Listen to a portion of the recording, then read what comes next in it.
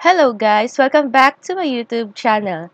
I am Jamie Despe and for this vlog, we are going to talk about Microsoft Excel, specifically using GoalSeek. Since I got tons of comments from my past blog, people are requesting for another Microsoft Excel tutorial. So here I am, I'm going to create my second video tutorial of Microsoft Excel. You can also watch my first vlog of Microsoft Excel using VLOOKUP and Pivot. Later on, I'm gonna put the link in the description box below or I'm gonna put the link on the upper right corner of this vlog. But before we proceed with our main tutorial, if you are new to my YouTube channel, don't hesitate to click the subscribe button and click the ring notification bell button so you are updated on my weekly videos. And don't forget also to like this video, give it a thumbs up, and also share this on social media. I will be giving three examples, three templates for this vlog. But before that, let us know what is the meaning of goal seek. What is really the purpose of goal seek in Excel. They say that GoalSeek is a process of calculating a value by performing what if analysis on a given set of values. Excel's GoalSeek features lets you adjust a value used in a formula to achieve a specific goal. Goal seek determines input values needed to achieve a specific goal. We can find the goal seek in our Excel tab by clicking Data and then you will click the what if analysis and then there is goal seek. Goal seek has three rows which is set cell to value and by changing cell. You can also use goal seek by clicking alt and plus T and G. We can better understand goal seek if we are going to do some exercises. Like for this one, we have here the sample one. Here in sample one, there are four columns. First column is for what we call the item 1. Second column is for the item 2. Third column is for the item 3. And the fourth column is the summation of all the three items. 67 is the total of 10, 25, and 32. On the definition that I said earlier, it says that goal seek determines input values needed to achieve a specific goal. So in this example, our goal is the main total. If I would like to make this total to 100, I can use goal seek by determining where the change is going to take place. If I would like to change the overall total to 100 by changing item 3, I can do that manually. But if we are going to use GoalSeek, here it goes. Alt TG, set cell value E4. So I would like this cell E4 to become 100. I would like to change the total of 67 to 100. But how? What cell am I going to change? For this example, I would like to adjust item 3, cell D4, so I can reach my goal of 100 for E4. If I'm going to click by changing cell D4 and I will click enter or I'm gonna click OK, as you can see, it automatically changes from what I wanted it to be. Target value 100, current value is 100. Okay, as you can see, the value changes. I reach my desired value for this cell by changing item 3. What if I would like to change cell E4 or the overall total by changing all the items, item 1 to 3? Meaning, I would like to change everything from items 1 to 3. I'm going to distribute it here equally so I can change the total value. If that's the case, this is what I mostly do. I multiply every values to that one cell.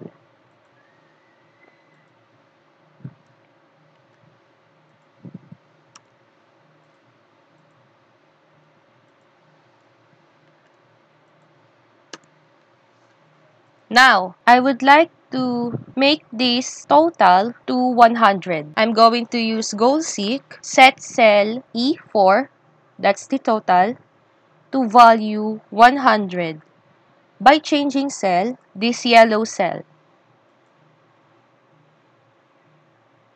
Remember that we cannot use a cell for this by changing cell if it has a formula. It should be in value. Remember that I put a formula here in item 1, item 2, item 3 all multiplied to this single cell V7. This is our only value on this sample because everything else on this tabulation from item 1 to total are all with formulas. This B7 is our only value. That's why I'm going to use B7 to reach my goal of 100 total. After that, I'm going to click OK and as you can see, I already reached my total of 100 and everything else from item 1, item 2, item 3, I distributed an additional 49% for all items 1 to 3. If you're going to look at each cell, the original value still exists in the formula. Like here in item 1, the original value of 10, in item 2, the original value of 25, and on item 3, the original value of 32, they are all multiplied to 1.492537. That's why I reach my total of 100. Here in our sample 2, this sample 2 is linked in our sample 1, items 1 to 3,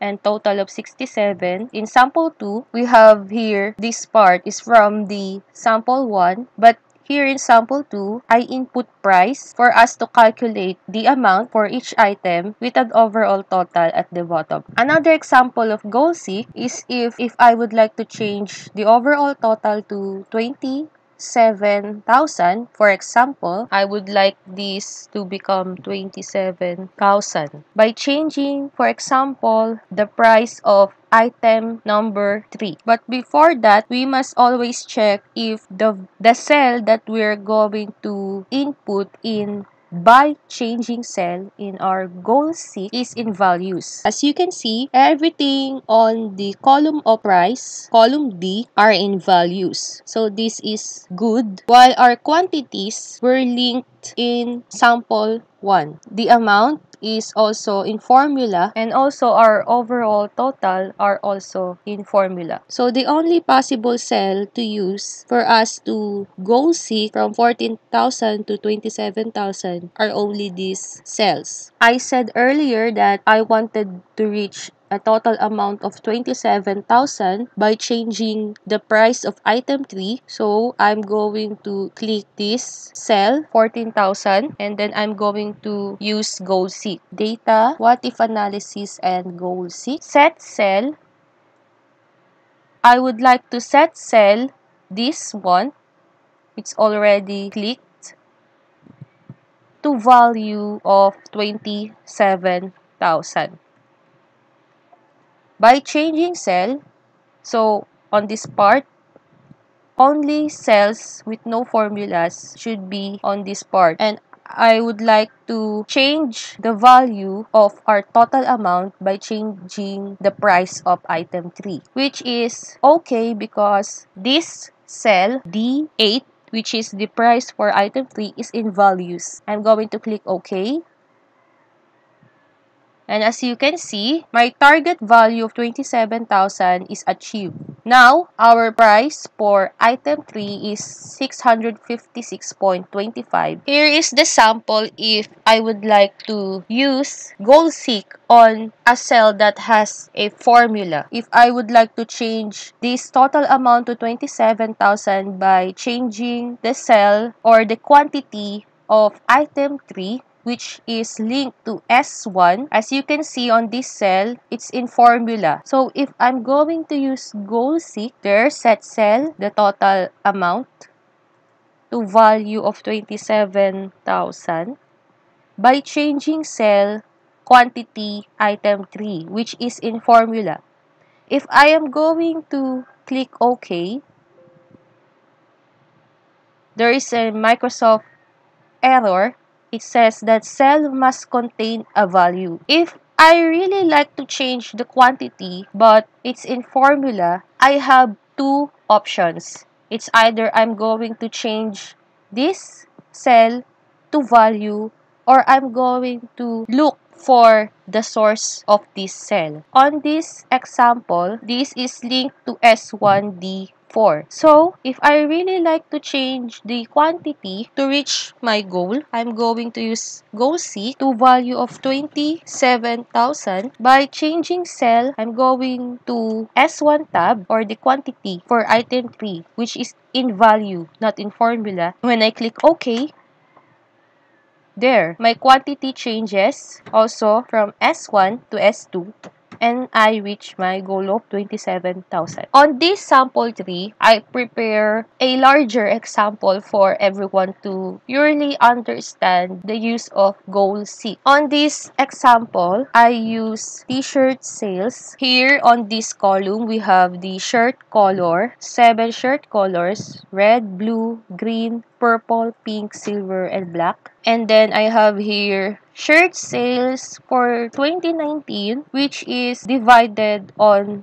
four quarters quarter one quarter two quarter three quarter four. I have under each quarters the quantity the price and the amount and on the bottom part is the overall sales amount for each quarter. On these columns quantity this shows the summation of all the quantities of each quarters. And on this column, this shows also the summation of all the amounts. So I have here the total quantity and the total amount for the whole 2019 sales. On this column is the percentage, meaning for this example, we have the 19%, it's computed from the percentage of the total sales in terms of quantity of the red color shirt, which means the 1,365 pieces of red shirt is equivalent to 19% of the overall total sales in terms of quantity. So, we are going to practice goal seek in this tabulation. What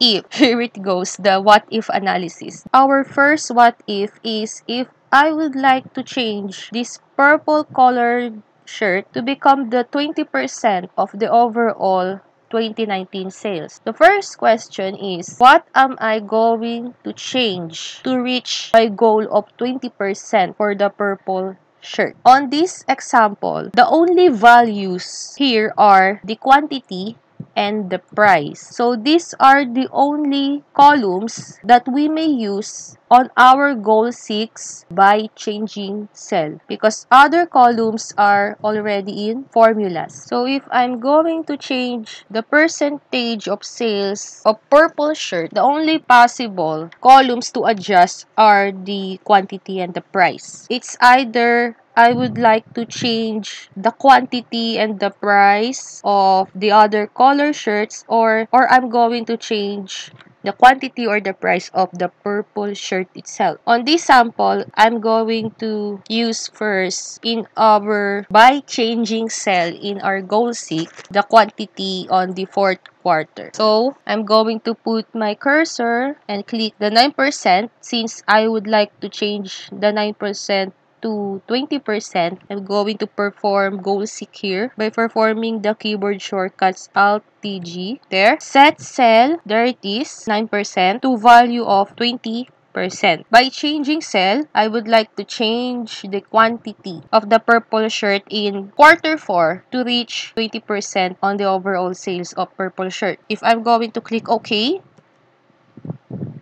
as you can see, I already reached my target value of 20%. But in reality, there is no 1,023.19 quantity of shirts. So, this is just for the purpose of doing an example to use goal seek here in Excel, but in reality, this should be a whole number, not a decimal number. What if I would like to change this percentage from 9% to 20%, but I would like to change all the quantities I'm going to equally distribute a certain percentage on each quantities for me to reach the 20% goal of sales for the purple shirt. So, remember my first sample where I multiply all these quantities to a certain single cell. So, I'm going to put this color here for me to remember where is that single cell. So I'm going to change all of these values to formulas. They should multiply to that single cell there. Now I'm going to perform goal seek. I'm going to click this cell. I'm going to perform goal seek by clicking the keyboard shortcuts Alt G. Set cell P8 to value of 20% by changing this purple one.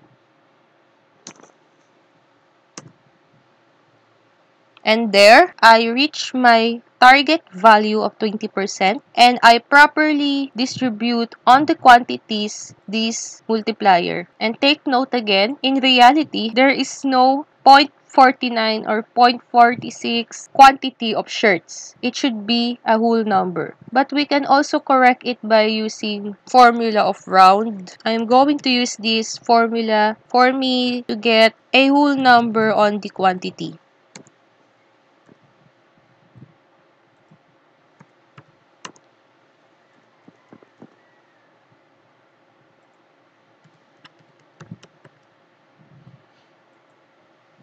It says here that I'm going to put first the formula or the value and then on the second part after I put the comma the number of digits. So I'm going to round it to zero number of digits means I want a whole number. And there as you can see I reach my goal of 20% with my quantities in whole numbers. There are no more decimal. And there you go. I hope you understand now the use of Goal Seek in Microsoft Excel and I encourage you to practice this on your own because when I also use Goal Seek first time I was a little bit confused on what am I going to input in by changing cell. So it takes a lot of practice for you to really understand and once you understand this and use this frequently it's easy for you to use it every day again guys thank you for watching this video and I hope you give this a thumbs up and don't forget to click the subscribe button and click the ring notification bell button for more videos. Thank you and God bless everyone. Stay safe.